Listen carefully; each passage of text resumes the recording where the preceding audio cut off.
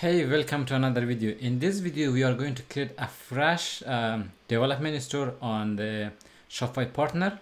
So far, uh, this is like the starting point and I assume you have watched 10 video in this playlist. If you already know how to use Shop uh, Shopify, how you can create a partner um, account and how you can create development store, you are good to go. But if you are not, please watch 10 video in this series because for the rest of it I assume you already know how to navigate around Shopify partner. Now here we are in the development tab. From here we are going to create a store. Just click add a store and here you have two options. Either you go manage store. Manage store is for the client. You send a request to them and they, they accept. You bring changes to their store. But we are going to create a development store. So let's give it a name. And the name could be anything as long as someone already is not like getting that name. So uh, by that they are going to add this extension of the my shopify. It will be always free to use but the front uh, page of your store will have a password. No one can see it. That is the limitation. Previously like one year ago you could disable the password. Use development store for yourself. It had http it had the domain. You could connect your custom domain. And shopify realized a lot of people use it as a landing page and that's why they put the password. You cannot disable the password which is not a good move but still. I'm going to give it um, name so code inspire so because this is already taken by someone i don't know but i can call it dev. This is also like reserve. So i should find something that which is not reserved so i'm going to call it team. Yeah this one is not taken uh, this is going to be my domain my email and then let's enter a simple password. So I will use a basic password. Using this password you can log in directly. So make sure you remember your password. And it does not match. Let me enter the password again.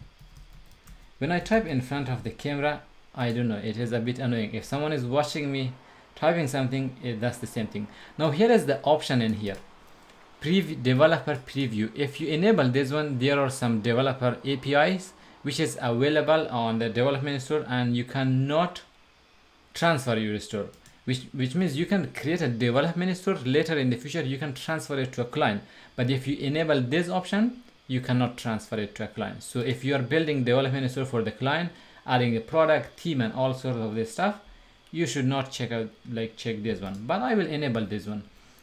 Uh, this is where you are going to search for like which uh, of the feature you want to check out. I don't want to select anything. I don't know if this is required. But let's go with non -dev development preview.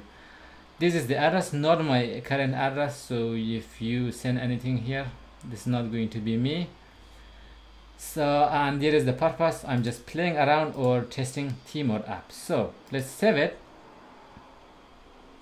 It will take a few seconds. I'm not going to update the password because it will update my partner password. I know which password i use. It will take a few seconds to create the development store for you. So yeah it is success. Let's see if it redirects us to the store we want. And throughout the course we are going to use uh, the shopify dev uh, documentation extensively. The reason for that is because I want to show you how to navigate around.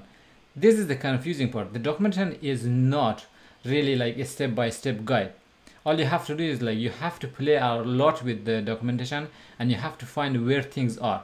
That's why I want to show you around and how you can navigate find things. That way you will be uh, more experienced once you finish the course.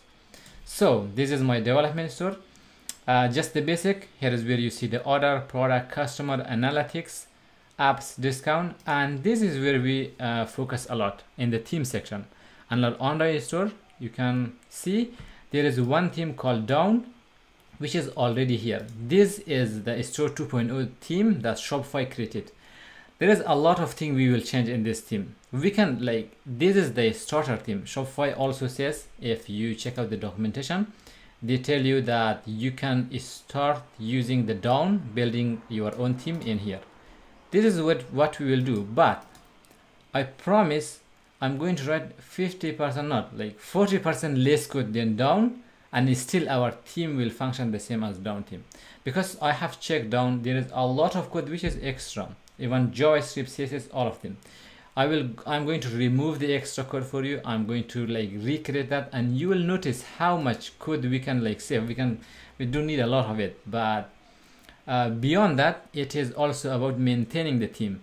When you build the team in the future your client want to maintain it like some other developer is working on that. That is also the important thing. A lot of people don't care about that part. They just create the team and say okay it is working fine. Nobody is going to extend it in the future the extending or adding more feature is more important because in the future um, someone is going to work on that. I want that part to be very easy for you. That's why the theme is open source.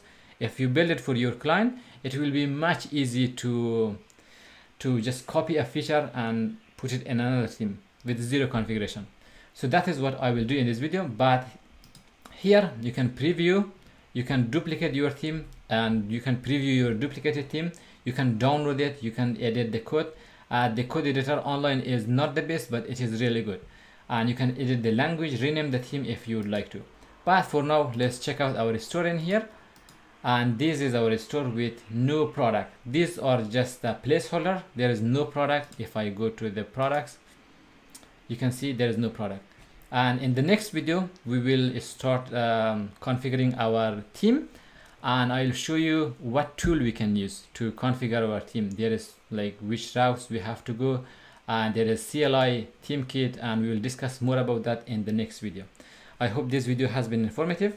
Thank you for watching. I will see you in the next video